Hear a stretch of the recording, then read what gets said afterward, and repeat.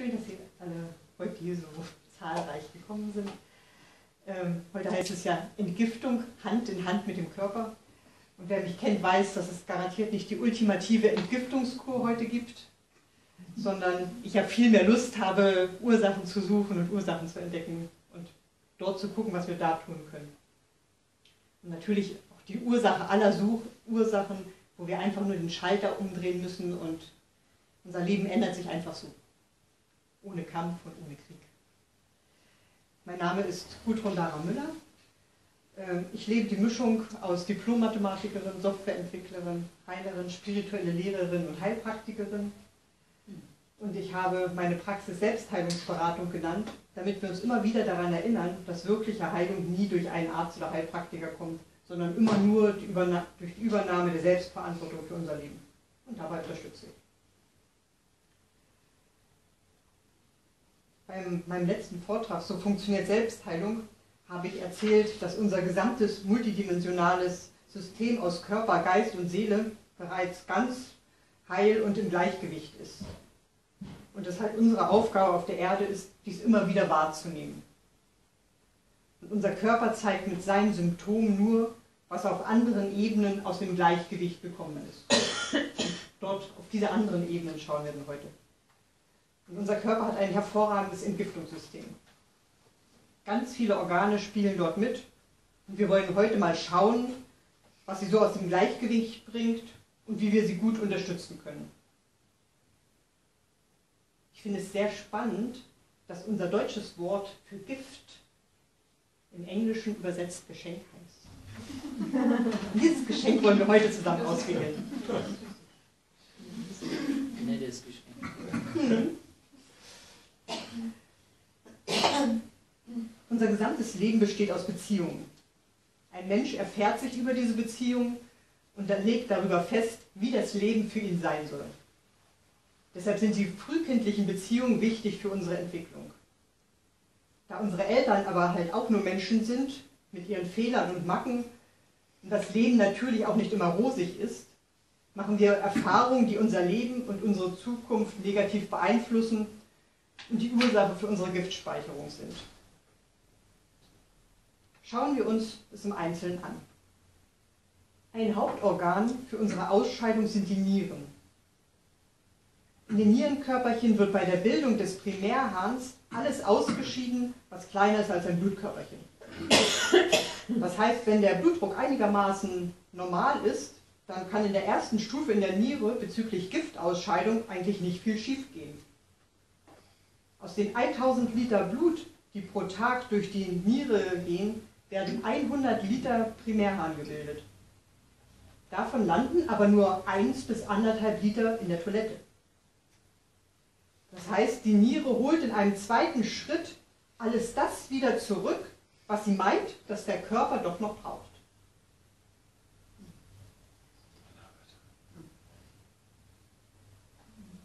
Das heißt, wenn die Niere nicht genug entgiftet, dann liegt es nicht an einer Unterfunktion, sondern an einer Überfunktion der Rückresorption.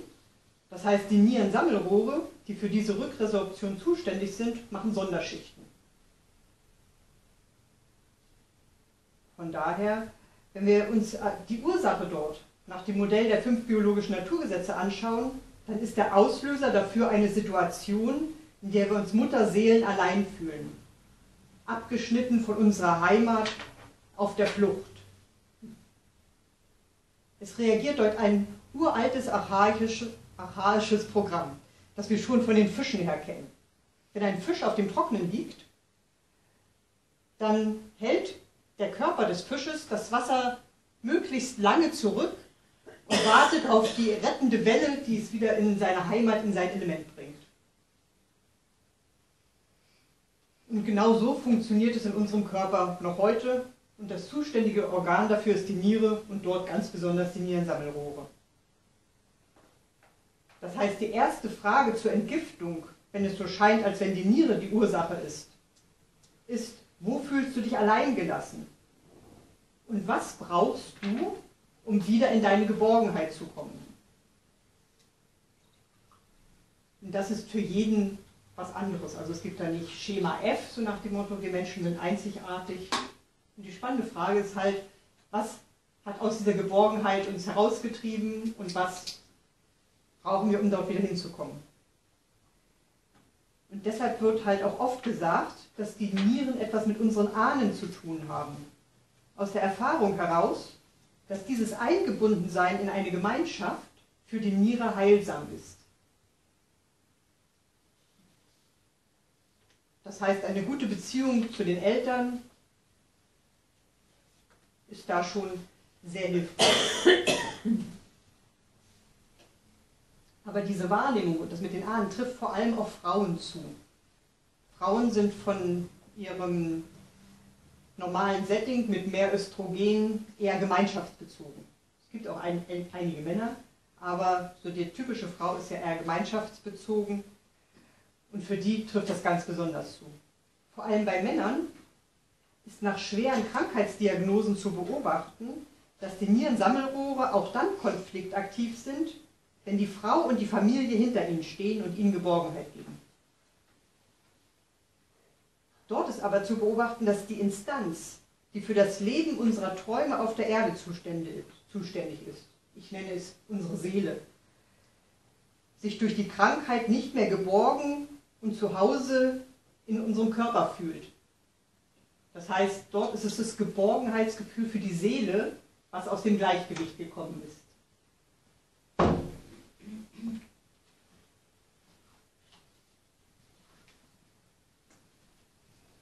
Und dort ist, ist das, was, warum vor allen Dingen Gemeinschaft hilfreich ist, aber auch halt Begleitung zur Gesundheit. Wenn jemand sich sicher ist, ja, es kommt wieder, es geht wieder raus und nicht in so ein Loch hineingeschubst wird, so unheilbare Krankheit, geht sowieso nicht mehr chronisch und jetzt sind die Träume dürfen alle gestrichen werden und nichts geht mehr. Und wir können die Niere natürlich auch stofflich unterstützen wenn wir es halt nicht so schnell schaffen, unser Grundthema zu lösen. Und da wir hier halt im biochemischen Verein sind, werden Sie es natürlich sofort wissen, welch, welches Mittel Sie sozusagen für die Unterstützung der Niere nehmen würden, wenn sozusagen der Wasserhaushalt aus dem Gleichgewicht ist. Also es gibt sozusagen so ein typisches Mittel, wenn der Wasserhaushalt aus dem Gleichgewicht ist, egal ob zu feucht oder zu trocken ist, ja. Die Nummer 8, also Natriumchloratum aber auch äh, Tees wie zum Beispiel Birkenblätter, Brennnessel oder grüner Hafer oder halt ätherische Öle. Keine Ahnung, man kann ganz, gibt ganz viel in allen Bereichen, womit man die Niere unterstützen kann. Muss halt gucken, was für den einzelnen Menschen passt und was er gerne möchte.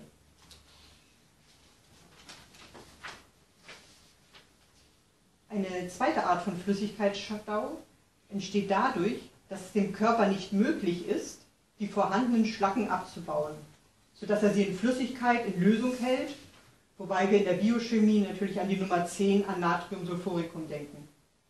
Dabei müssen wir aber unterscheiden, ob es sich um eine lokale Schwellung handelt, die etwas halt mit dem geschwollenen Gewebe zu tun hat, wo wir nach dem Modell der fünf biologischen Naturgesetze nach der Ursache schauen können, und der systemischen Schwellung, die etwas mit der Entschlackung und Entgiftung allgemein zu tun hat.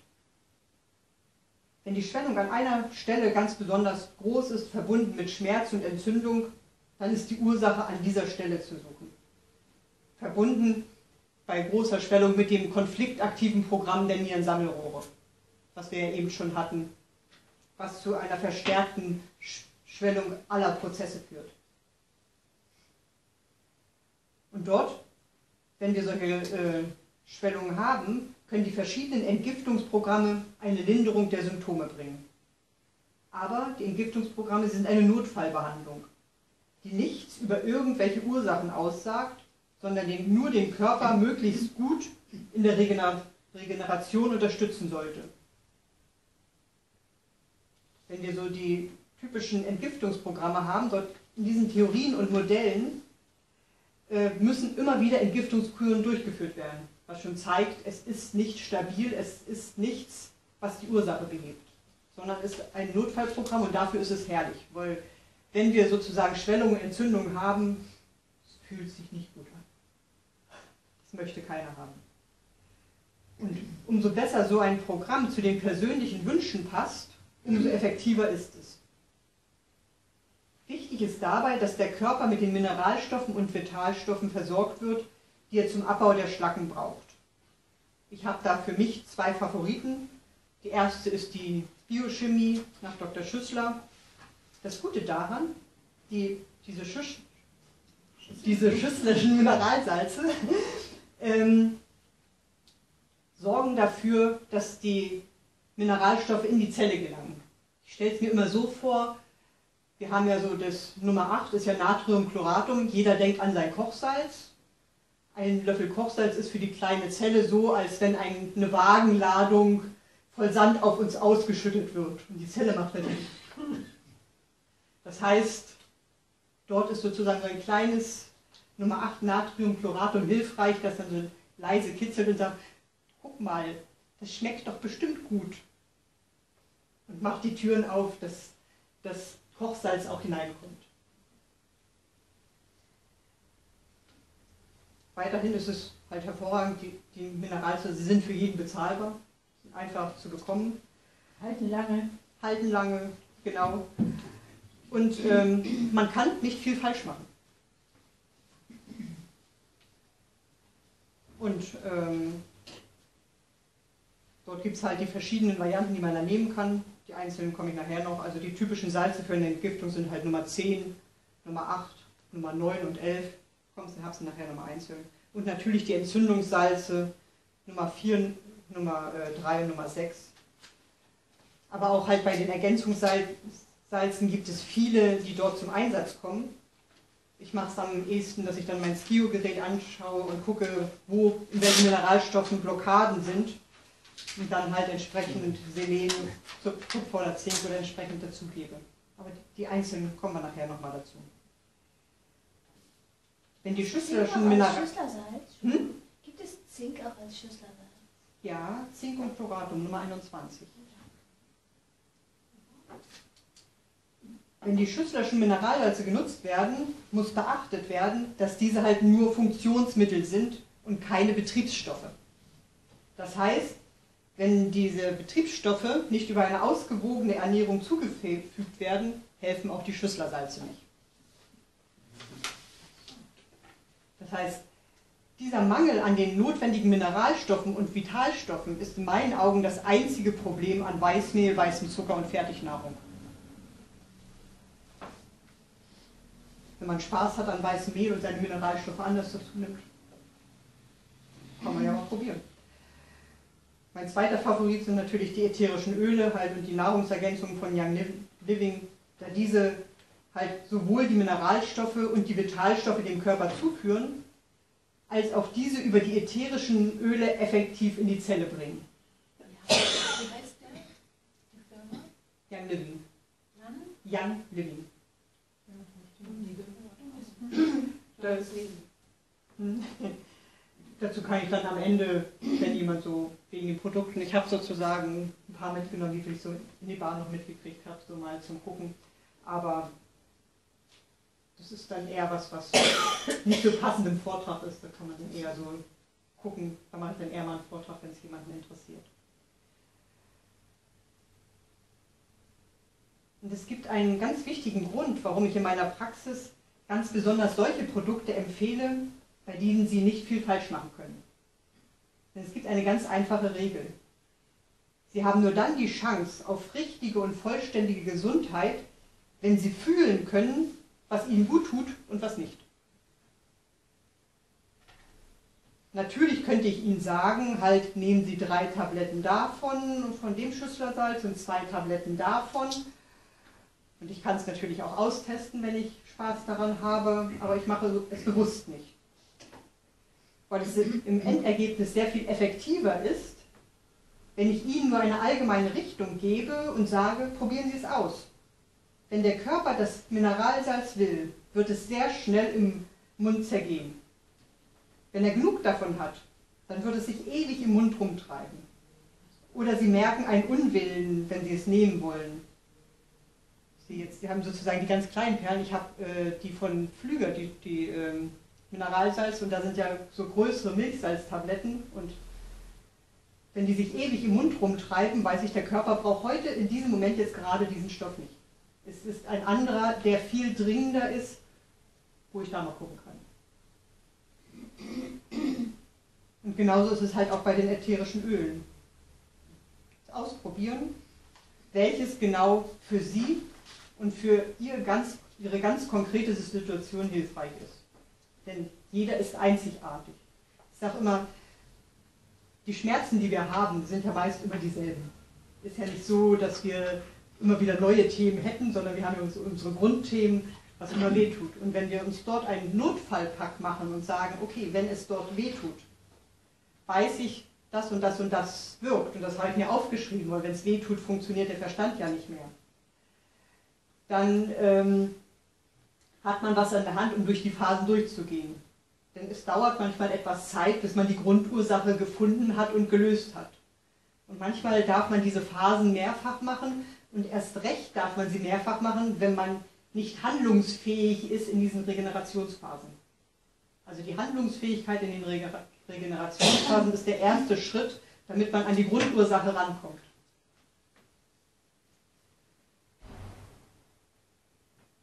Neben Mineralstoffen braucht unser, unser Körper, also unsere Zellen, einen ganz wichtigen anderen Stoff. Sauerstoff. Jede Zelle braucht zur Energiegewinnung Sauerstoff und bei diesem Verbrennungsprozess wird Kohlendioxid gebildet, der halt auch wieder ausgeschieden werden muss. Und das Organ, was hauptsächlich für den Abtransport und die Ausscheidung von Kohlendioxid zuständig ist, ist unsere Lunge.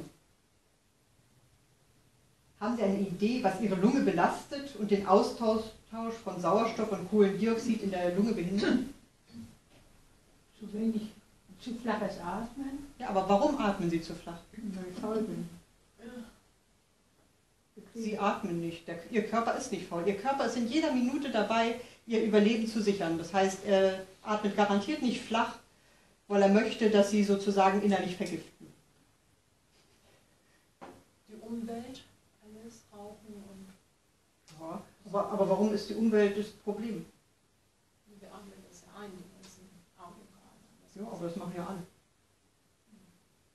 Vielleicht das eigene Gefühl, ein Recht auf Leben zu haben oder den Raum zu nehmen. Hm.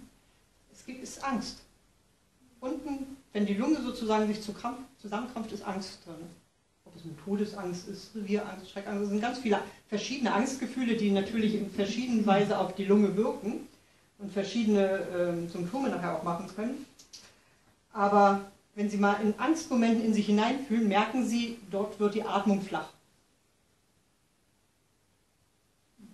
Das heißt, immer wenn die Angstschalter in unserem Gehirn irgendwo an sind, wird automatisch die Atmung flach. Weil wir müssen jetzt sozusagen ganz still sein, damit wir nicht bemerkt werden und dann dürfen wir nicht tief atmen, weil wenn wir tief ein- und ausatmen, dann sind wir hörbar und sehbar. Und wenn wir den Atem ganz flach machen, dann sieht uns keiner mehr. Dann werden wir unsichtbar. Jetzt bin ich auch nicht mehr zu sehen. Mhm, genau. Und da helfen dann halt auch keine Entgiftungskuren oder Kampfexzesse gegen den Körper. Da hilft nur hinschauen und Schritt für Schritt einen Weg aus der Angst in den Frieden gehen. Und deshalb führen auch alle Krankheitsdiagnosen, die ihnen Angst machen, Schritt für Schritt in eine immer stärkere Vergiftung des Körpers. Weil die Lunge kann dann nicht mehr so gut atmen und erst recht, wenn man so Krebsdiagnosen hat, da ist Todesangst drin. Und Todesangst führt dazu, dass die Lunge in Überfunktion geht und mehr arbeitet als nötig tut, um uns am Überleben zu halten.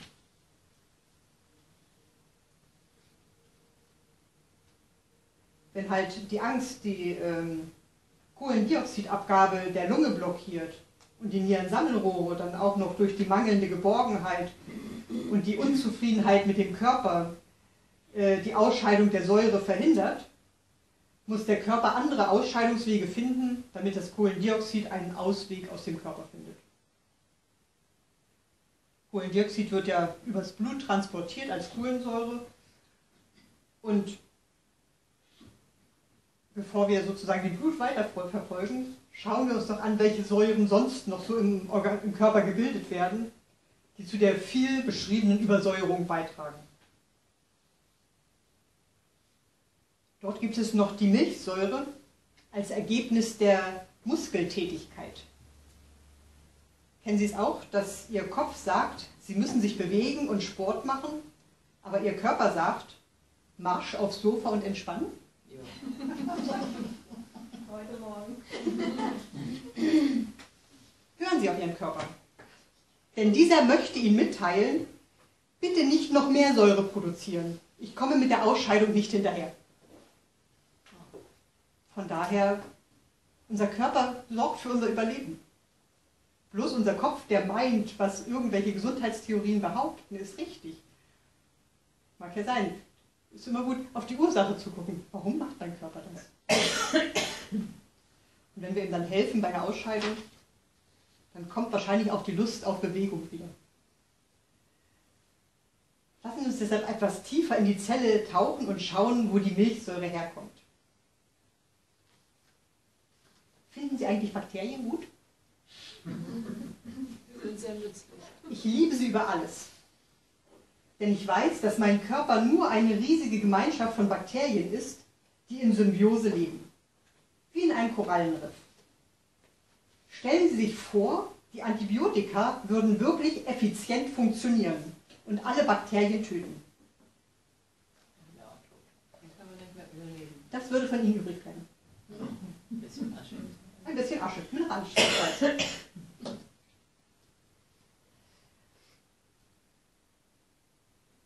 Und durch ihre hervorragende Resistenzbildung schützen sie unseren Körper vor den wilden Kampfideen unseres Kopfes. Nach der Zellsymbiosis-Theorie ist jede unserer Zellen eine Symbiose aus zwei verschiedenen Bakterien.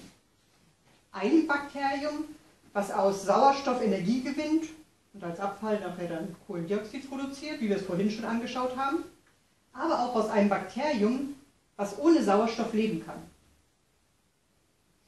Die Verbrennung von Sauerstoff findet in den Mitochondrien statt, den Kraftwerken unserer Zelle. Und wenn diese halt immer weiter ihre Arbeit einstellen, weil benötigte Rohstoffe zum Beispiel fehlen, dann schaltet die Zelle ihren Stoffwechsel um. Das heißt, das Bakterium, das ohne Sauerstoff leben kann, übernimmt die Energieerzeugung. Im Zellplasma wird dann aus Blutzucker Energie gewonnen und dabei entsteht Milchsäure. Wenn wir jetzt übermäßig Sport machen, ist es klar, dass dieser Mangel entsteht, da die Versorgung der Zellen auf diesen plötzlichen Anstieg nicht vorbereitet ist. Deshalb ist es dort sinnvoller, die Belastung langsam und schrittweise zu steigern, damit sich das Körpersystem langsam anpassen und Depots anlegen kann, die dann leicht zur Verfügung gestellt werden können. Weil wenn Sie sich jetzt nach, zehn Jahren bloß Sessel sitzen, auf einmal bewegen und meinen, Sie müssten jetzt den Marathon mitlaufen, findet der Körper das gerade nicht so lustig. Es gibt dabei natürlich auch den Fall, dass zum Beispiel einzelne Körperteile, wie das Knie, die Hüfte oder die Hand, dieses Programm, was wir bei Muskelkater haben, völlig ohne übermäßige Bewegung machen. Die Medizin nennt das dann Arthritis oder Arthrose. Das heißt, das tut weh wie Muskelkater, aber ich habe nichts gemacht. Glaub mir. Dort versucht unser Körper nach dem Modell der fünf biologischen Naturgesetze die Stabilität krampfhaft aufrechtzuerhalten. Es kommt dort zu einem massiven Energiebedarf, um diese Anspannung aufrechtzuerhalten. Und sowohl Sauerstoff als auch Blutzucker kommen dann nicht mehr so zu den Zellen, sodass sie nicht mehr so versorgt werden. Und deshalb sieht es so aus, als hätten wir Knochen- und Muskelabbau oder werden alt. Das gilt für die Haltemuskulatur genauso wie für die Herzmuskulatur, sodass damit der Teufelskreis des Abbaus der Herzleistung durch Angst vor, vor Symptomen beim Herzen klar wird. Das heißt, wir vertrauen unserem Muskel nicht, wir glauben nicht, dass er es schafft und er baut sich immer, immer, immer weiter ab, weil innen drinne der Körper sagt, ich halte dich, auch wenn du nicht glaubst, dass das funktioniert, ich halte dich. Und er kommt nicht so sehr gegen den Kopf an. Im Modell der fünf biologischen Naturgesetze nennt sich das immer Selbstwerteinbruch. Diesen, die Selbstwerteinbrüche kann ich halt, wenn ich nach den Mineralstoffen im Skio gucke, da zeigt er mir dann meist eine Blockade durch Bohrmangel an. Außerdem ist Calcium sehr reaktiv, weshalb dort natürlich auch die Schlüsselersalze 2 und 1 angezeigt sind. Es gibt einen hervorragenden Bohrlieferant, der sich denjenigen, die einen Garten haben, richtig aufdrängelt. Das ist der Giersch. Der gekommen ist, um uns etwas von seiner Lebenskraft zu schenken. Haben Sie auch einen Garten und kennen Sie auch das Phänomen, dass immer die Wildkräuter zu uns kommen, die wir brauchen? Es ist faszinierend. Dadurch habe ich genug Tisch.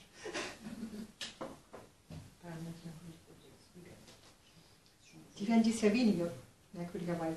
Also es ist genug Bohren im Boden und der Giersch holt sich den. Ob der nun im Boden ist, Gisch, Oder ob er ihn künstlich erzeugt. oder wo, wo er den herholt aus dem Universum, ist mir eigentlich recht egal. Auf jeden Fall ist Giersch ein hervorragender Bohrlieferant und von daher, man kann sich über ihn ärgern oder man kann ihn nutzen. Hm. Kostenlos. Kostenlos, genau. Wenn wir an die Sauerstoffversorgung der Zellen denken, fällt uns bei den Schüsslersalzen natürlich auch noch das Salz Nummer 6 ein, Kaliumsulfuricum. In der Biochemie wissen wir, dass das mit einer inneren Anspannung zu, zusammenhängt. Es entsteht dort eine innere Unruhe, die halt kaum noch als Unruhe empfunden wird. Es ist der ruhelose, das ruhelose, unentwegte Beobachten der Außenwelt. Also der Mensch ist ständig auf der Lauer. Die Unruhe besteht vor allem auch darin, dass das Verweilen bzw. die Entspannung als mögliche Verhaltensweise völlig ausgeschlossen. Das heißt, mit 100.000 Fühlern sind wir mit unserer Außenwelt verbunden und schauen, dass ja, ja nichts Dramatisches passiert. In der Natur kennen wir dieses Verhalten. Wir, wir können es bei Katzen beobachten.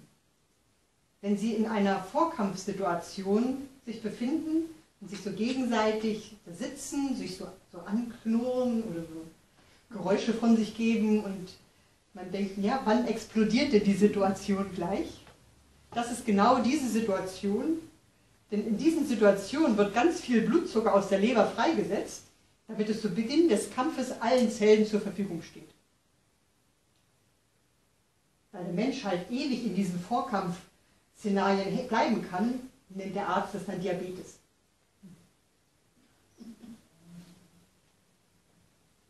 Oft damit verbunden ist eine Blockade durch Chrommangel, die ich halt deshalb gerne ins Gio prüfe. Dann ist das Schüsslersalz Nummer 27, Kaliumbichromicum, angezeigt. Wenn wir sehen, dass Chrom hauptsächlich in Fleisch vorkommt, dann ist auch klar, dass es diesen Menschen sehr schwer fällt, auf Fleisch zu verzichten. Der Körper fordert es, um den Mangel zu beheben. Wir haben vorhin so im Vorgespräch auch gehört, Mohn ist auch ein hervorragender Chromlieferant. Also Mohnkuchen essen, Mohnkuchen Holt den nicht. Chrom raus. Hm? Holt den Chrom raus. Er holt Chrom raus. man kann Chrom zu viel haben, indem man rote Beete, rote Paprika und noch irgendwas isst. Ach so, also von daher, es gibt auch zu viel. Also von daher, aber wenn man, wenn man Appetit auf Mohn hat, sollte man nicht Angst haben, dass man dumm wird, sondern sagen, dann meint der Körper vielleicht, ich, wir, sollen den, wir haben zu viel Chrom drin und sollen ihn rausbringen. Es ist auch so, wenn man genug Chrom rausgeholt hat, dann schmeckt der Mohnkuchen nicht mehr. Okay, dann sollte ich vielleicht noch ein bisschen mehr Mohnkuchen essen. Mir schmeckt er noch. Ich weiß nicht, ob der Punkt jemals kommt, dass mit der Mohnkuchen meiner Mutter nicht mehr schmeckt. Es kommt drauf an, wenn du keinen Chrom hast, dann isst du den nicht mehr. Ich habe es probiert. Also ich habe ein Jahr lang jeden Tag Mohnkuchen gegessen und jetzt esse ich immer noch Mohnkuchen, aber nicht mehr sieben Tage die Woche, sondern nur noch zwei Tage die Woche. Naja, sagen wir so, sieben Tage die Woche würde ich auch nicht mehr muss ich auch gestehen. Da, da, da, dafür, dass ich sozusagen zweimal im Jahr kriege. Genau. Nicht.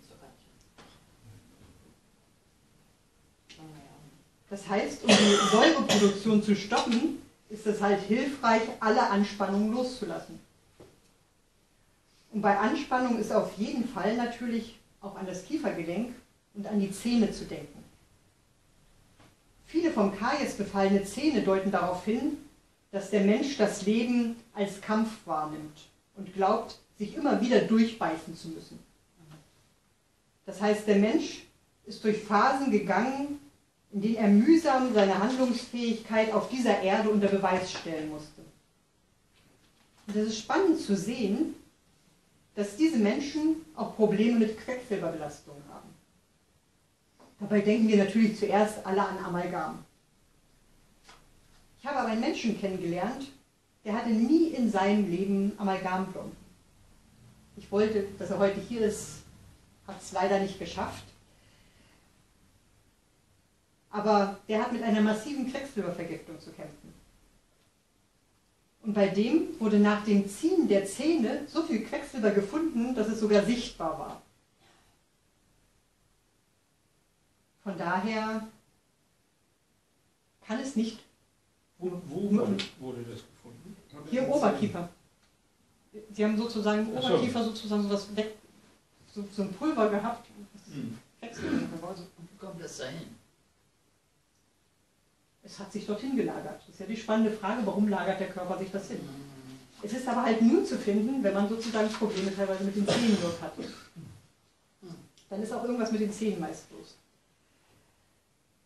Wenn wir uns vergegenwärtigen, dass wir halt alle Energie sind und unsere Energiewolke, also unser Energiefeld, nur von den Energien berührt werden kann, mit denen es in Resonanz geht, können wir uns natürlich fragen, warum wir mit Quecksilber in Resonanz gehen.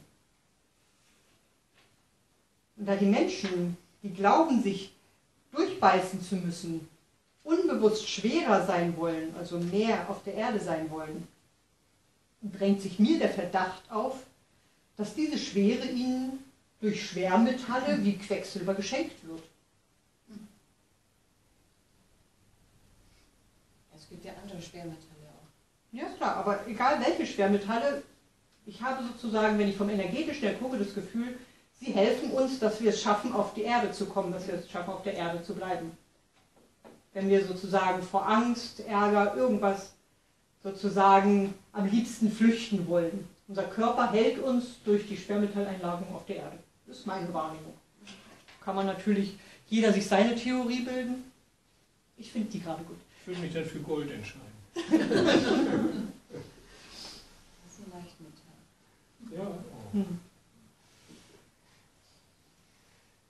Und da das Dentin des Zahns vom Großhirn-Marklager gesteuert wird, finden wir dort halt auch das psychische Phänomen des Ganzen, dass halt sehr viel gedacht wird. Wir müssen alles durchdenken. Also ist, wir haben das typische Modell eines Verstandesmenschen, dem halt das Fühlen schwerfällt.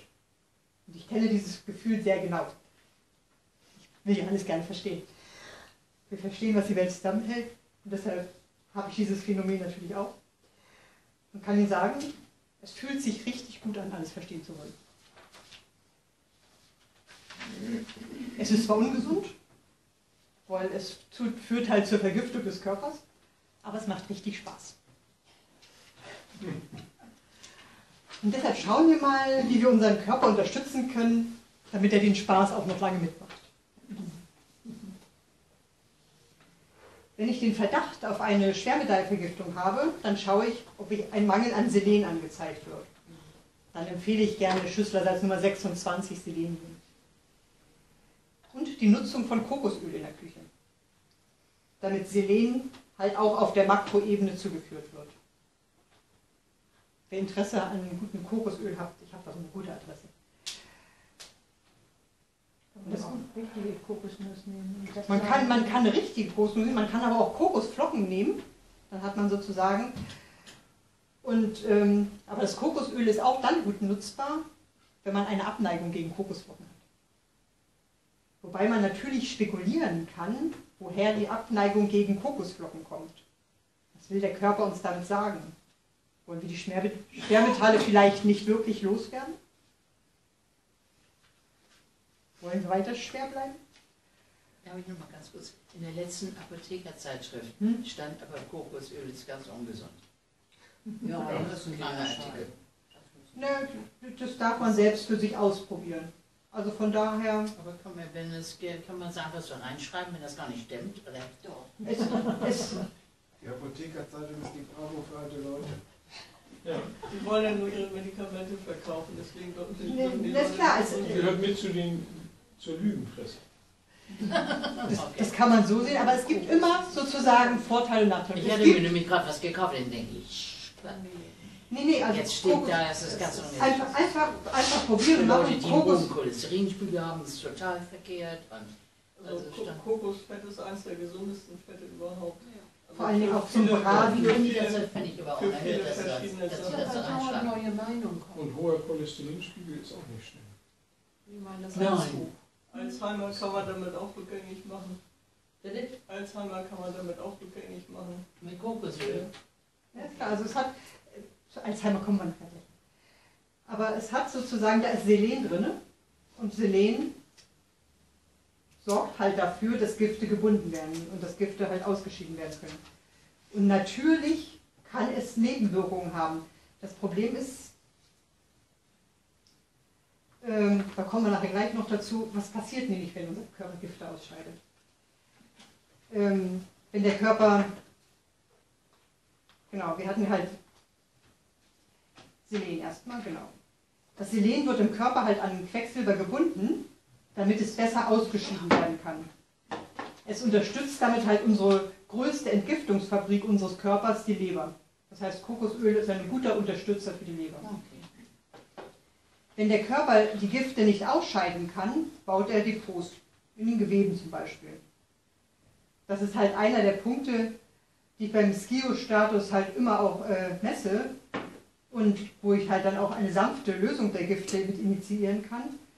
Aber wir können natürlich auch die Biochemie nutzen und bei der Lösung von Giften aus den Depots ist in der Biochemie an Nummer 24 Arsenum Iodatum zu denken. Damit die Gifte dann ausgeschieden werden, sollte auch noch an Zink gedacht werden, also an die Nummer 21, Zincum chloratum.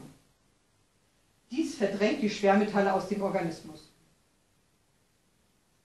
Es wird ab, außerdem zum Abbau von Alkohol, einem von, von einigen vielgeliebten Genussgift, natürlich benötigt. Ich achte dabei natürlich auch noch auf Kupfermangel und empfehle dann gerne halt Nummer 19, Cuprum arsenicosum. Ähm, und dort ist spannend, dass in der Biochemie behauptet wird, dass Multiple Sklerose immer mit einer Schwermetallvergiftung in Verbindung steht. Das heißt, das, was wir oben bei so den Zähnen festgestellt haben, wahrscheinlich ist es bei jedem Muskel. Nee, bei, bei jedem, wenn man sozusagen Selbstwertprobleme hat. Also bei allen Teilen, die halt vom Großhirnmarklage gesteuert werden. Weil Multiple Sklerose sind ganz viel Selbstwertthemen, die da drin hängen. Bei Parkinson wird äh, in der Biochemie von einer Aluminium- und äh, Bleibelastung gesprochen. Auch bei halt Alzheimer und Demenz wird von einer erhöhten Aluminiumbelastung gesprochen. Und das kann man zum Beispiel mit Nummer 20, Kalium, Aluminium, Sulfuricum, günstig beeinflussen. Für die Unterstützung bei der Ausscheidung von halt Ammoniak kann auch noch Nummer 17 Mangan und Sulfuricum genommen werden. Also in den, in den Schüsselersalzen gibt es ganz viele, die uns halt bei der Entgiftung unterstützen und halt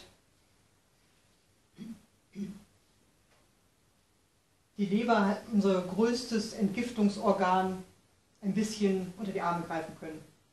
Und unsere Leber hat eine atemberaubende Regenerationsfähigkeit. Schauen wir also, wie wir dieses Organ noch weiter unterstützen können und warum unsere Leber immer mal muckert. Genau. Die Leber muckert übrigens nicht. Die Leber ist ein Organ, das ist sozusagen nicht schmerzempfindlich. Und der Schmerz der Leber ist Müdigkeit. Das heißt, wenn wir ganz viel mit Müdigkeit zu tun haben, können wir denken, ah, unsere Leber schmerzt. Nach dem Modell der fünf biologischen Naturgesetze reagiert unsere Leber konfliktaktiv, wenn unser Körper glaubt zu verhungern. Wir kennen es von der Gazelle, die halt in der Steppe immer mal mit Dürrezeiten zu tun hat. Und wenn halt Dürre ist, holt unsere Leber aus jedem Grashalm alles heraus, was irgend möglich ist.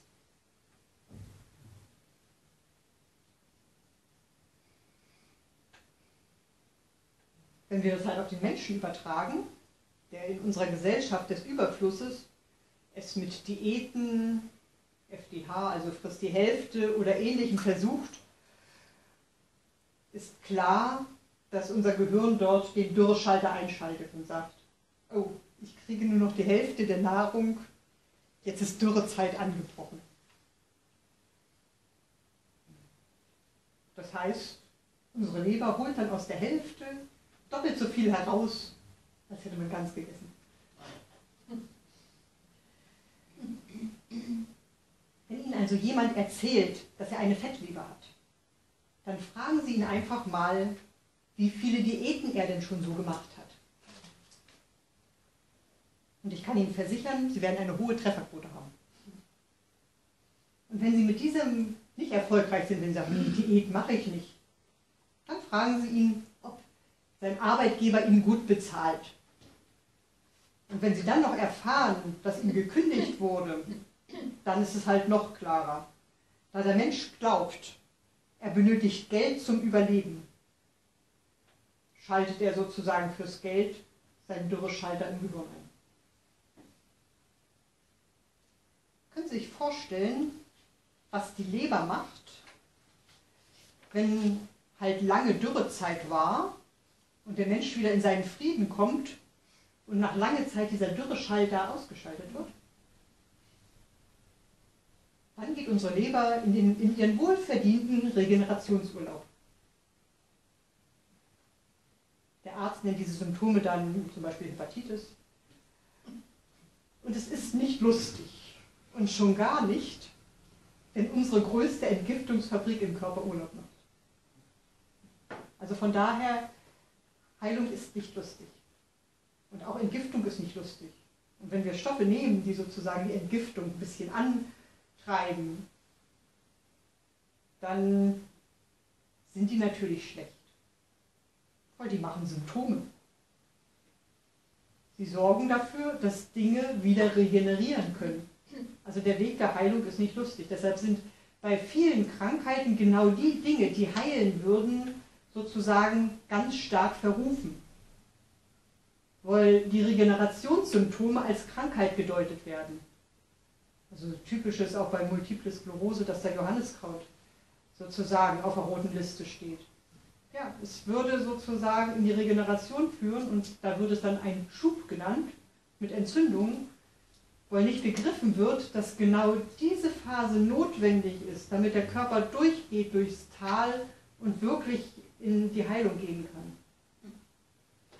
Deshalb, äh, Entgiftung ist nichts für Schwache. Da ist, muss man genau austarieren und genau gucken und auf seinen Körper achten und ein Gefühl bekommen, wie komme ich sozusagen langsam daraus, wenn ich erstmal unten bin. Und da helfen dann halt auch keine großen Exerzitien, sondern eher langsam, sachte, in aller Ruhe in den Frieden und in die Ruhe kommen. Aber dann wären Fastenkuren auch nicht gut, ne? Ich würde sie nicht machen. Also von daher, es gibt einige Dinge, wenn man im Darmbereich hat, wenn das sozusagen sich im Teufelskreis festfährt, dann ist mal eine Fastenkur gut, damit man merkt, sein Körper funktioniert noch und hat nicht bloß Blähungen und Schmerzen. Da könnte es sozusagen mal so ein Reset-Schalter sein. Aber ich würde immer eher auf die Ursache gucken und, und sanfter vorwärts vorgehen. Aber das muss jeder für sich entscheiden, ob er das mal Lust hat zu erleben oder nicht. Meinst du es nicht?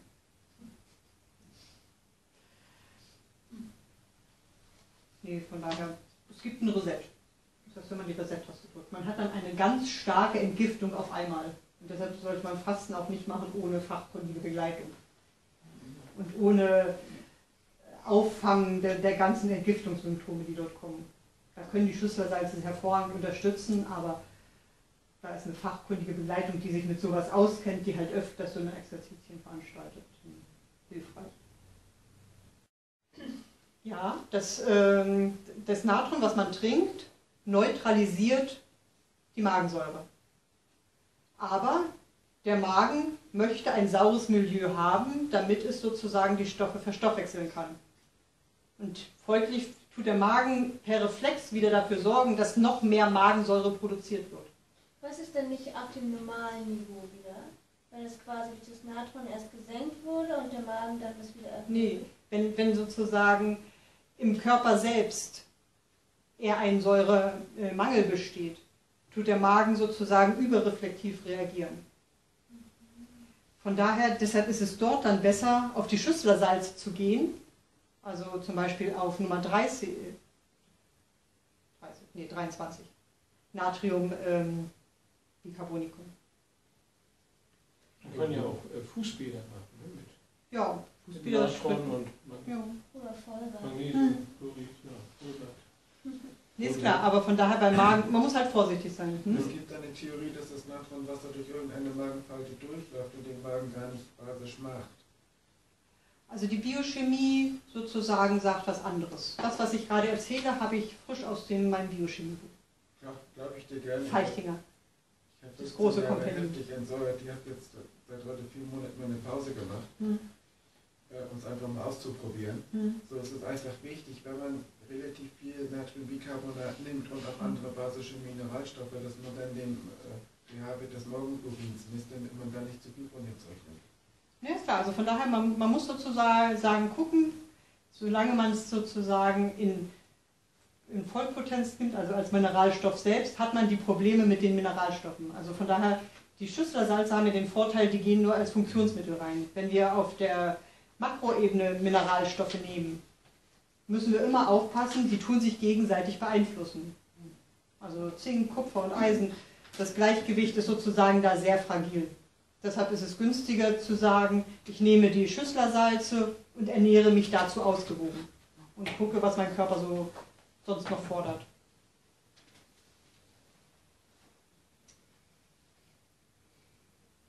Genau.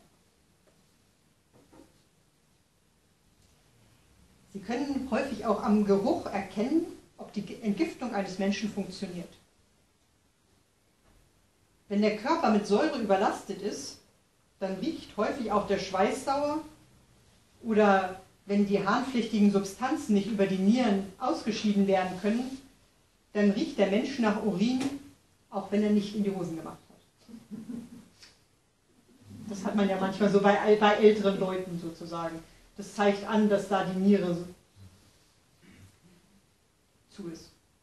Oder besser gesagt, eine Überfunktion funktioniert und alles zurückhält, auch die harnpflichtigen Substanzen. Dann schiebt halt das Blut die Giftstoffe, die es halt nicht puffern kann, ins Bindegewebe und von dort werden sie halt teilweise über die Haut ausgeschieden. Das heißt, das Haut ist auch ein, die Haut ist auch ein großes Entgiftungsorgan. Deshalb ist es halt gut, dort immer mal in die Sonne zu legen. Die Schweißfüße sind dann auch so bezeichnet. Ja, ist klar. Also von daher die, die, die, die stetigen Füße. Aber wenn, wenn es bloß die Füße sind, dann muss man eher noch nach dem Modell der fünf biologischen Naturgesetze gucken und da mal gucken, in welchen Situationen, aus welchen Situationen möchte der Mensch herauskommen. Dass er dann sozusagen mit den Füßen in irgendwas drinne steht, wo er am liebsten raus will, wo halt die Schweißbildung aus dem Grund passiert, dass man daraus flutschen möchte. Ich habe jahrelang Schweißfüße gehabt. Ja, ist klar. Also Von daher, also wenn, wenn die Schuhe den äh, die Schuhe den Füßen nicht so passen, man sagt, das haben mehr Männer, Frauen nicht. Das Füßen. Ich habe von meinem Papa geerbt, muss ich leider sagen. Ja, kann man das sagen? Ja, leider. Ach. Man, man, man kann es sozusagen, es ist immer die Frage, wie die Vererbung funktioniert. Sie funktioniert ja darüber, dass wir es mitnehmen. Also von daher, wenn es danach geht, habe ich auch ganz viel geerbt. Aber Also, das heißt einfach nur, dass ich doch genauso handle. Das hatte ich glaube, ich beim letzten Mal erzählt, ähm, wenn wir sozusagen geboren werden, kommen ja die Energiefelder von Mama und Papa zusammen und bilden sozusagen einen Teil unseres Energiefelds. Es kommt mit in unser Energiefeld rein. Und damit haben wir durch das Energiefeld schon die Schalter sozusagen gedrückt, die Mama und Papa auch hatten. vorprogrammiert. Vorprogrammiert. Ja, ist klar, aber man kann die ausschalten. Das ist eins der. Man kann gucken, woran liegt es, und dann herauszufinden, wie hat Papa so funktioniert und was mache ich noch genauso, wie Papa gemacht hat.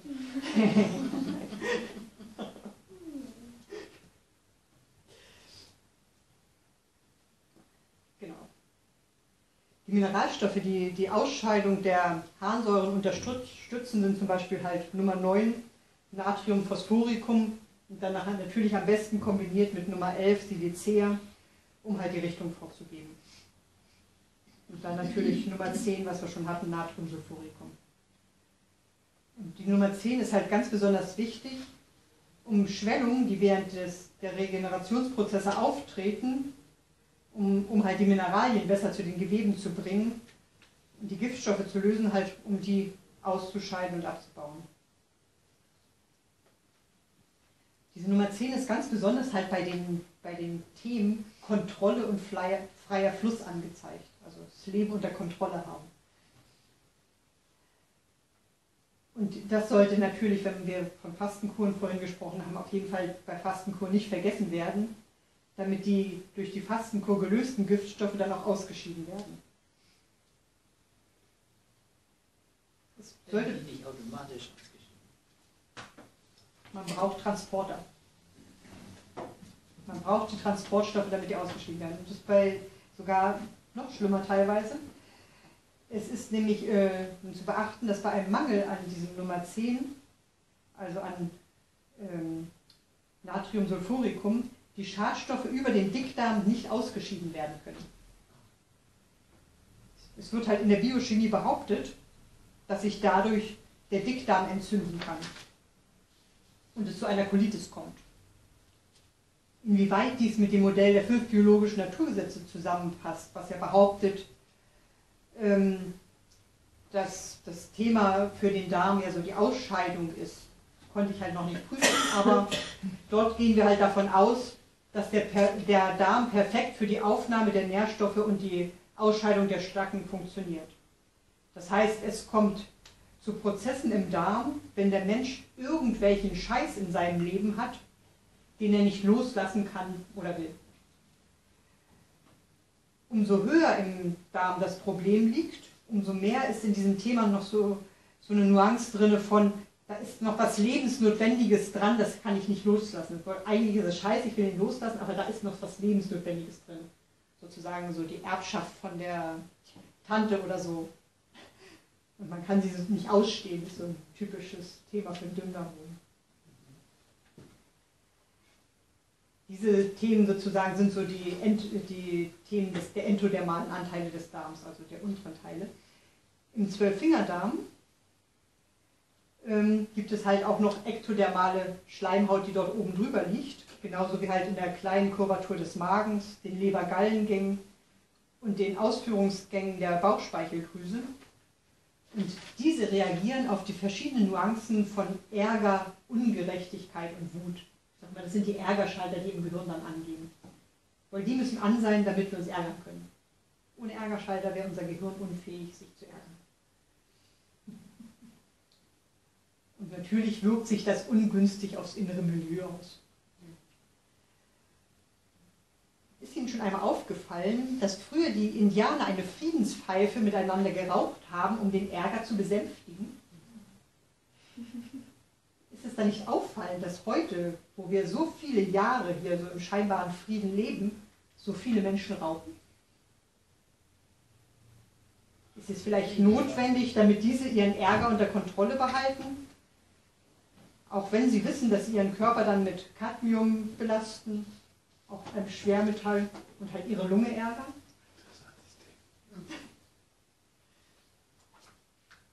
Von daher. So müssen wir wieder pfeifen.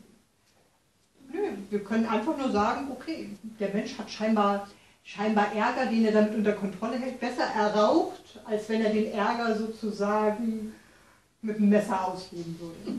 Kann man ja auch so sehen. Also von daher. Wir werden nur begrenzt durch unsere Gedanken.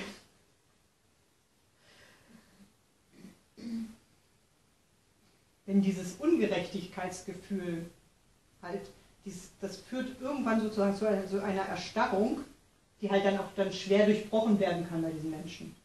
Und dann empfiehlt man zum Beispiel in der Biochemie Nummer 16 Lithiumchloratum. Das bringt sozusagen das System wieder ein bisschen in Fluss.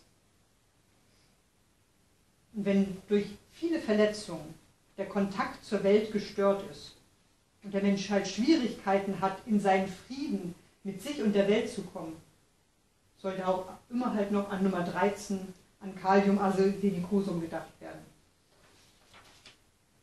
Denn der Frieden mit der Welt, so wie sie ist, führt dazu, dass wir uns nicht weiter vergiften und der Körper sich Stück für Stück sein früheres Leben wiederholt. Dieser innere Frieden, halt diese Zufriedenheit in allen Lebensbereichen, kann gemessen werden. Die können wir fühlen. Und sie ist eine ideale Effektivitätskontrolle beim ganz persönlichen Weg zur Gesundheit. Deshalb ist es halt bei mir halt auch ein wichtiges Kriterium in der Begleitung. Denn Heilung ist nicht lustig und es wird sozusagen Tiefphasen gehen. Wenn man nicht merkt, dass der Zufriedenheitslevel auf in irgendeinem der Lebensbereiche steigt, dann weiß man, man sollte auf seinem Weg zur Gesundheit mal gucken, ob es nicht noch was anderes gibt. Denn nichts ist so unbefriedigend, wie wenn wir viel Geld dafür ausgeben und wir uns hinterher nicht besser fühlen. Genau. Das ist das, was ich erstmal so erzähle und jetzt ist der Raum für Ihre Fragen. Welche der 300 Fragen Also mit Bakterien und Viren war ja heute auch mal ein Thema. Ne? Bakterien und Viren. Genau, die Bakterien hatte ich ja schon. Das war ja, das war ja unser Körper ohne Bakterien. Ja. Ähm, nach dem Modell der fünf biologischen Naturgesetze, ähm, da wurde festgestellt, dass alles, was wir so an, als Infektion bezeichnen, so in der normalen Medizin, also immer wo wir glauben, da sind jetzt Bakterien, haben uns überfallen oder Viren sind gerade über uns her, dass die Phasen immer nur Regenerationsphasen sind. Das heißt, es sind die Phasen, in denen unser Körper äh, sich wieder aufräumt nach einer langen Stressphase, kann man einfach sagen. Und ähm, genau, und in, in der Dunkelfeldmikroskopie wurde halt auch beobachtet, dass der Körper sich seine Bakterien selbst baut. Die kommen gar nicht von irgendwo, sondern man konnte da genau beobachten, wie die sich entwickelt haben im Laufe der Konfliktaktivität. Also wenn das System sozusagen allmählich kippt. Von daher, er, er baut sich, die Helfer, die er nachher in der Regeneration baut, äh, braucht, baut, er, baut er sich selbst auf. Und äh, gerade wenn wir halt im, im endodermalen Bereich, also die Teile, die durch unser Stammhirn gesteuert werden, also die eher archaischen Teile, dort haben wir ja, wenn wir konfliktaktiv sind, sehen wir eine Zellvermehrung. Da sind so die typischen Darmkrebse und Lungenkrebse und welche Krebse wir da noch alle haben, also wo wir Zellvermehrung haben, wo wir richtige Zellvermehrung haben. Dort werden halt Mykobakterien ähm, in dieser konfliktaktiven Phase aufgebaut, die erst überhaupt nicht äh, symptomhaft werden, sondern erst in der Regeneration werden sie auf einmal tätig und bauen dieses Gewebe dann nachher durch Verkäsung wieder ab. Das sieht man hervorragend bei der Tuberkulose. Tuberkulose äh, ist ja, ich hatte vorher Todesangst, deshalb war die ja auch so nach dem Zweiten Weltkrieg. Ich hatte eine lange Zeit von Todesangst, so im Zweiten Weltkrieg hatten viele Menschen Todesangst. Und als sie sich gelöst hat, als dann Frieden war, haben viele eine Tuberkulose gekriegt. Das heißt, diese, diese Mehraufbau an Lungengewebe, was passiert ist während der Todesangst, hat sich dann abgebaut. Und wenn sozusagen diese Mykobakterien da waren, dann hat es sich auch abgebaut und war nachher vielleicht eine Kaverne oder irgendwas, aber sie haben sich abgebaut. Und wenn diese Mykobakterien nicht da sind, dann verkapselt der Körper das einfach. Dann kann es nicht abbauen. Aber der Körper tut sich diejenigen Helfer schon heranziehen, die er nachher braucht. Und Dann ist ein Schnupfen soll ja noch gut sein, eine Erkältung. was ist ein Schnupfen oder eine Erkältung? Also von daher, also es gibt so die Zeiten, wo diese Nase ganz, ganz doll läuft. Dann freue ich mich immer, weil ich weiß, ach, das ist sozusagen, die Epikrise ist vorbei, wir sind gleich durch, Schüssler Nummer 8 nehmen, damit es sozusagen schneller weggeht und ich bin, ist vorbei. Der Körper reinigt sich. Ich sage mal, der Körper reinigt sich. Ein Schnupfen dauert sieben Tage, aber eine Reinigung des Körpers kann schon morgen vorbei Ich sein. hatte jetzt zwei Tage vor Ostern, wie auf Kommando. Zwei Tage, dann war weg. Genau, also von daher, da, da, wenn, wenn wirklich dieser Fließschnupfen ist, also dieses, da hilft auf jeden Fall hervorragend Schüsslersalz Nummer 8, also Natriumchlorat. Deshalb sind so Hühnersuppe und so, die ja sehr salzig sind, auch gut in diesen Phasen. Genau. Und wenn wir so Pilze haben, es gibt immer viele, die dann sagen, so, so Pilze im Darm und die sind dann aus dem, außer Balance, dann kann man so gucken, wo, wofür nutzen wir eigentlich Pilze. Und Pil Heilpilze werden genutzt zum Beispiel zur Schwermetallentwicklung. Das heißt, Pilze braucht unser Körper, wenn wir ganz viele Schwermetalle haben. Das heißt, wenn wir Pilze im Darm haben, wissen wir, wir sammeln Schwermetalle und wollen ein bisschen schwerer werden. Und dann Kampfszenarien gegen die Pilze im Darm zu unternehmen und ihnen dann noch mehr Chemikalien reinzuhauen, weiß nicht. Wäre jetzt nicht so meine Vorgehensweise. Ich würde dann eher gucken, wo kommen denn die Schwermetalle her und wie kriegen wir sie ganz sanft wieder raus. Und wollen wir sie denn raus haben? Oder wollen wir auch ein bisschen schwerer werden? Ich höre immer nur seit 20 Jahren, ich habe Darmpilze angeblich, weil ich wegen Zucker, weil ich jeden Tag Kuchen Schokolade esse. Dann ist ja aber eher das Spannende, warum essen Sie? Ja, weil das Kuchen. eine Sucht ist. Weil man während des Nachmittags braucht. Ja, Wie ein ihr, Raucher.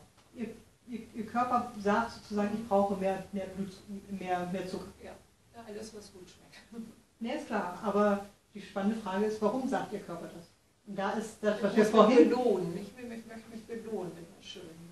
Genau. Und mit was könnten Sie sich sonst noch belohnen, außer mit Zucker? Mit ein paar, Streichel, ich dann. Nee. ein paar Streicheleinheiten mal.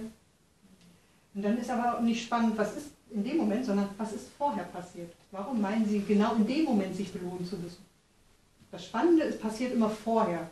Vorher, wenn wir gar nichts haben, wenn wir kein Symptom haben, dann passieren die spannenden Teile, wo man ändern kann.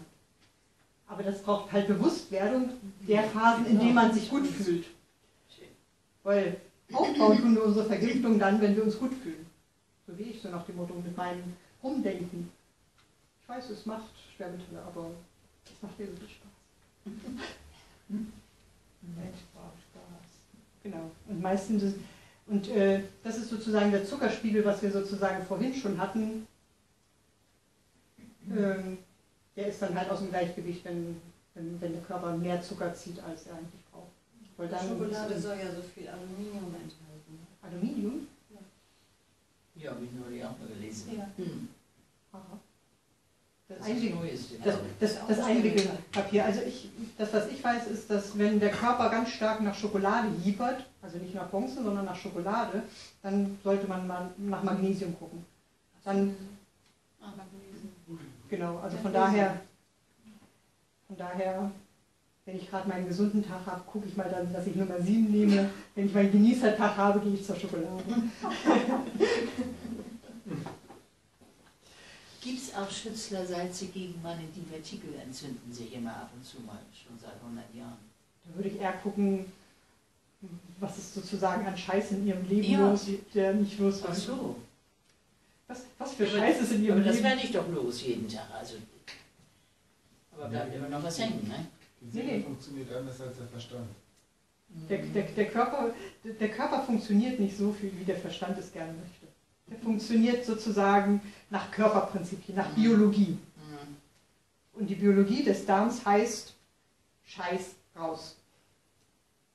Und wenn da sozusagen ganz viel, ganz viel Scheiß ist, den man nicht loslassen will, weil man sagt, ja, aber man muss ja das so machen oder ich muss mich ja so verhalten oder nee, das darf ich ja nicht sagen, weil das muss ja so sein, aber man fühlt sozusagen, dass da Scheiß irgendwo ist Mhm. dann kommen, und die Vertikel heißt, da, das ist schon altes Thema und das läuft immer und immer und immer, immer wieder. Das ist sozusagen etwas, was beständig läuft. Immer an und aus. Kann ich gar nicht loswerden.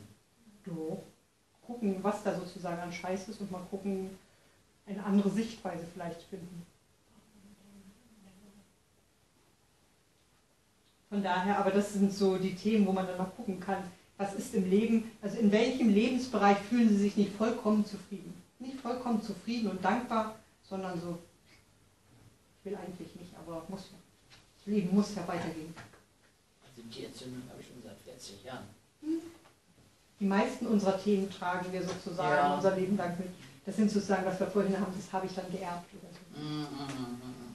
Von daher, das, das sind sozusagen so Schematas, die sind so fest in unserem Gehirn drin eingespeichert, die kriegen sie gar nicht mehr mit, weil das ist ja völlig normal. Mama und Papa waren schon genauso und ich bin jetzt immer noch genauso. Also von daher, man hat sozusagen nichts anderes. Und da kann man dann auch, auch gern gucken, was stört mich an anderen. Ich nutze dann gerne den Spiegeleffekt und gucke, was stört mich an anderen und da weiß ich, oh, da ist bei mir ein Thema, was ich nicht sehe. Weil das, was sich, mich am anderen stört, das muss in mir sein. Das ist manchmal ein bisschen garstig, die Sichtweise, ich weiß. Nee, aber ist ja so. Wir sind ja immer ein Spiegel des anderen. Nee, ist klar, aber man kann diese Spiegel sozusagen nutzen oder man kann sie über die Spiegel ärgern. Man kann sich auch über sich ärgern, dass man sozusagen so dämlich ist. Aber wir sind alle Menschen. Wir haben alle unsere Themen und wir haben alle unsere Ecken, durch die wir hunderte Male gehen dürfen. Das gehört scheinbar zum Menschsein dazu. Von daher, man kann sich darüber ärgern, dass man Mensch ist. Und danach haben sich Freunde bekommen. Hm, Genau, also von daher. Könnte man auch. Es gibt sozusagen ganz viele faszini- faszinierende Dinge an unserem Körper zu entdecken. Der Also, Trick ist doch, wenn man sich ärgert, das als Freund zu verwenden und zu sagen, ich freue mich jetzt, ich freue mich jetzt, das glaubt mir doch eh keiner. es ist ja wes- unwesentlich, ob, sie, äh, ob es ihnen einer glaubt. Wichtig ist, glaubst Man du es. Ich glaub's mir ja selber nicht. Ich sage, ich freue mich jetzt, ich mich jetzt. Ich glaube ja selber nicht. Nee, ich würde eher in den Ärger hineintauchen und würde sagen, weil wenn ich Ärger habe, weiß ich, die Ärgerschalter sind an und folglich weiß ich, der andere muss entweder mein Revier verletzt haben oder meine Identität. Und dann kann ich überlegen, wenn ich sozusagen die typische offene Zahnpastatube habe, wie schafft es diese offene Zahnpastatube, mein Revier oder meine Identität zu verletzen? Das ist ja nur eine offene Zahnpastatube. Wieso ärgere ich mich? Also es muss ja irgendwas verletzt sein. Dann kommt dann meist was raus. Meine, meine Identität als Hausfrau oder dass äh, es Geld kostet, dass die Zahnpasta eintrocknet. Also da sind ganz Nicht achtsam sein. oder nicht achtsam. Also von daher, da sind, sind sozusagen innere Werte, die man behauptet, das wären seine Identität, die werden sozusagen dort ange, angekitzelt. Weil der andere etwas anderes lebt als man selbst. Deshalb sage ich immer, bedingungslose Liebe heilt. Nicht bedingungslos akzeptieren, dass es keine Gerechtigkeit gibt, dass es nicht gut und böse gibt, sondern dass es nur die Welt der unendlichen Möglichkeiten gibt und mhm. ich wähle halt das und wenn der andere das wählt, ist sein Tisch, nicht mein Tisch. Mhm. Von daher ist es nur dann mein Tisch, wenn ich mich darüber ärgere. Aber das ist immer noch mein Tisch, würde ich sagen. Mhm. Weitere Frage.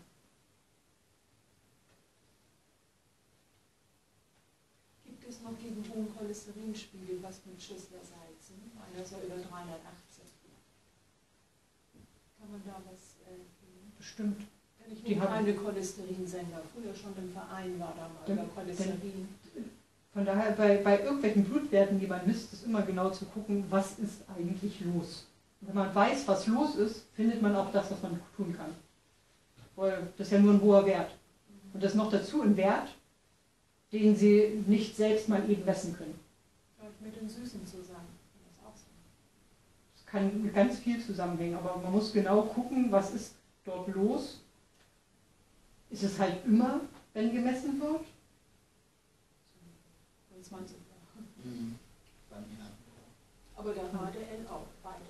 Hm? Ist klar, aber da muss man erstmal genau auseinandernehmen und die Ursache genau rein. Bis zum Lebensende Cholesterinsenker habe ich Würde- genommen. Nehmen. Würde ich nicht nehmen, aber ich, ich, ich hätte halt Lust nach Ursache zu gucken. Und dann, dann kann man auch was finden, was, was dann ist. Aber man muss e- einmal runtergucken auf die Ursache. Was ist da los? Warum kommt der Körper auf die Idee, so viel Cholesterin haben zu wollen?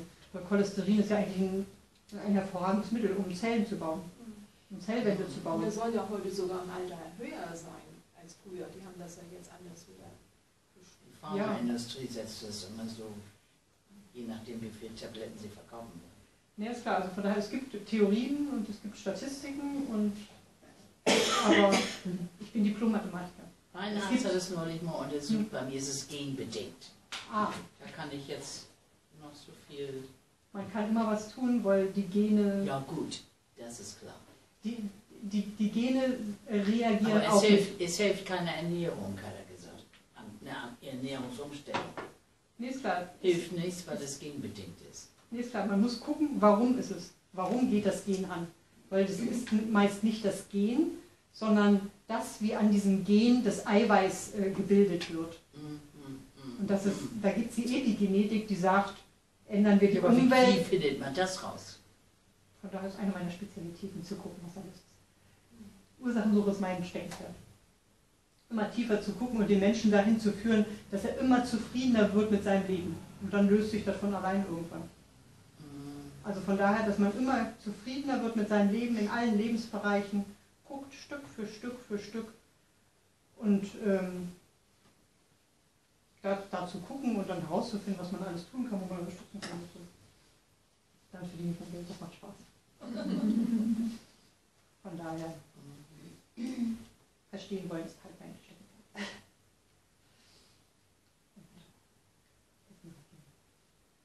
Nee, aber Cholesterin wird gebraucht. In den Körperkreislauf reinzupuschen, wenn man nicht verstanden hat, wo die Ursache liegt, ist halt nicht so meins. Ich muss die Ursache sehen und dann halt wirklich immer tiefer gehen. Also wenn ich die wirkliche untere tiefe Ursache gefunden habe, dann ist es nur ein Schalter, den man umschalten muss. Und dann geht das Gehen wieder an. Aber diesen Schalter zu finden, da muss man sich durch Zwiebelschichten schälen. Weil unser Körper hat hervorragende Sicherheitsmechanismen, dass wir nicht daran gehen, weil da unten sind Traumata drin. Ist sozusagen was drin, was wir nicht sehen wollen, wo wir nicht hingucken wollen. Das ist nicht so mal eben und Friede, Freude, Eierkuchen und wir machen sozusagen einmal zaubern und alles vorbei. Das ist immer so der Traum. Und einmal Hand auflegen und schon sind alle Probleme gelöst. Kenne ich aber.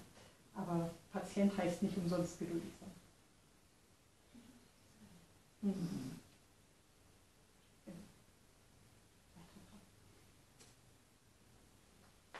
Irgendwo hat man gestanden, der Körper produziert so viel Cholesterin, wie er gerade braucht. Genau. Das würde ich auch meinen. Wenn so viel Cholesterin unterwegs ist, muss das einen Grund haben. Und der Körper muss meinen, er braucht es. Wofür auch immer. Aber das ist ja kein Grund zum Sterben, ne? Ja, er hat zu mir gesagt, wenn ich keine Statine nehme, dann kriege ich demnächst einen Herzinfarkt. Na, einen Schlaganfall. Toll. Von daher. Von Das wusste ich auch nicht, was ich sagen soll. Ich nehme sie natürlich nicht. Na ist klar, das Problem ist, da die Ärzte nur Statistiken haben, haben auf denen sie basieren. Sie können es nicht vorhersagen, sie, sie sehen, laut Statistiken ist dort ein Risiko. Sie haben ein großes Risiko, dann Genau, also von daher, sie, sie haben nur Statistiken und sie sehen nur Risikos. Sie können nicht auf die Ursache gucken, weil sie haben auch nicht die Zeit dazu. Weil der normale Hausarzt, der mit der Praxis voller Menschen sozusagen maximal fünf Minuten hat, damit er die überhaupt durchbekommt, der schafft es nicht, sich mit ihnen zu unterhalten, wo in, ihrem Leben es gerade hängt und wo sie noch zufriedener leben können. Also von daher, das kriegt er nicht hin. Von daher, er kann sozusagen gucken, für diejenigen, die mal eben aber war sagen, schon Spezialist, war ja nicht mein Hausarzt. Also. Aber Hm. Nee, nee, ist klar, aber Sie haben in Ihrem Denkmodell nichts, was Ihnen die Ursache sagt. Sie haben nur Statistiken und Risikogruppen. ja, Und durch so eine Diagnose wird man ja auch hier programmiert im Kopf und dann Hm. geht diese selbsterfüllende Prophezeiung und dann erfüllt man die Statistik, indem man dann tatsächlich einen Schlaganfall kriegt, Ja. weil man das immer im Kopf hat. mhm. Ist klar, aber von daher, es, es kann Ja, sein. Die ja, Frage ist dann das immer, meine, 100 Jahre nehme ich keine Statine und habe immer einen hohen Blutdruck. Und dann kommt er und sagt, ist klar, also er hat gerade eine neue Statistik gelesen. Finde ich nicht, fand ich nicht so schön. Also, ist klar, aber und unterbrochen denke ich da jetzt drüber nach. Ich nehme aber trotzdem keine Statine. Ich will keine. nee, nee, aber wir brauchen auch nicht drüber nachdenken, weil Nee, das, das muss das, ich abschalten, versuchen. das, das, das, das, was ganz sicher ist, das, was Sie seit Ihrer Geburt wissen, ist, dass Sie sterben werden. Von daher. Mhm. Aber zwischen der Geburt und diesem Tag des Todes gibt es ganz viele Tage und Jahre. Und da können Sie leben. Das Leben genießen. Zufrieden sein. Ja, genau. Mhm. Von daher, Also Herzinfarkt ist doch eigentlich eine Heilungskrise. Wenn man die Heilungskrise rechtzeitig erkennt und weiß, was man tun muss, um sie überleben zu können. ist sie hat eigentlich- sie hat es gerade mit einem Starkanfall und wahrscheinlich denkt er, da sind dann, kommen dann irgendwelche Bröckchen, die dann irgendwo verstopfen. Ja, nee, nee. Man kann ganz viele Krisen haben, aber von daher, es kann tödlich sein, klar. Aber es kann so viel tödlich sein. Sind Sie heute mit der Bahn gefahren? Die hätte umkippen können. Von daher, aber wir machen es trotzdem. Von daher, es gibt Leute, die gehen in diese komischen Karussells hier auf dem Dom. Oder lassen sich irgendwo per Bungee springen, irgendwo Ja, runterspringen. Also von daher, Die gehen in das Da- Verein, die haben es erwischt. aber sie sind vollkommen mutig, dass sie sozusagen hier auf der Erde sind, um zu leben, in diesem Körper. Das erfordert Mut, sich dem Uns auszusetzen. bleibt ja nichts anderes übrig. Na doch, sie haben sich oben freiwillig entschieden und haben gesagt, ich will in den Körper, ich will hier auf die Er- Erde, ich will Erfahrung machen. Dass sie das jetzt vergessen haben und vergessen haben, dass sie da gesagt haben, ich habe da Lust drauf und ich will das und das und das in meinem Leben lösen. Und dann gibt es halt solche, die, die den Rand nicht voll kriegen, die besonders viel sich auf die Schultern laden. Ja, das ist halt, gehört zum Leben dazu. Und die Engel, sagt man immer, wenn die dann oben wirklich existieren, die sollen dann sozusagen stolz auf unseren Mut sein. Das unterstützt uns ja auch. Man kann das glauben und das glauben. Von daher, Hauptsache man fühlt sich glücklich und zufrieden auf die Welt. Uns begrenzt nur unser Denken.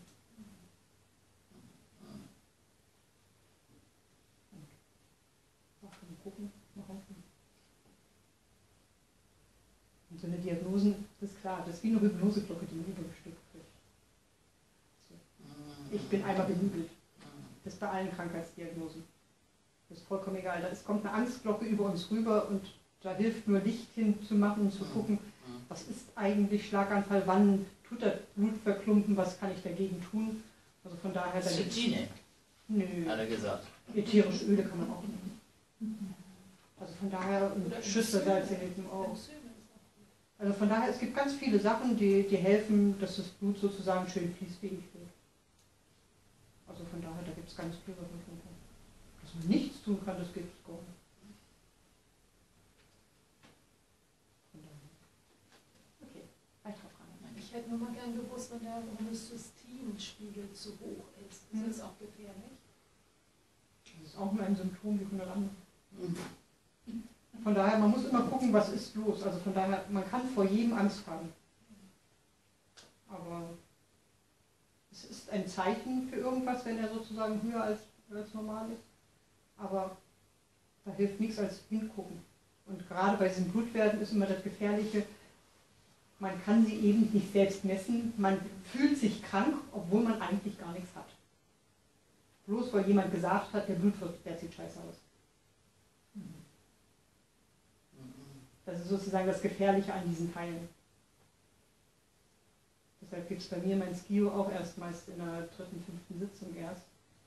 Wenn wir sozusagen schon vorne weggemacht haben. Wir müssen wieder lernen zu fühlen, dass wir uns gut fühlen. Wenn wir, wenn wir merken, dass wir zufrieden sind, dass wir glücklich sind, dann lass doch die scheiß Blutwerte sein, wie sie sind.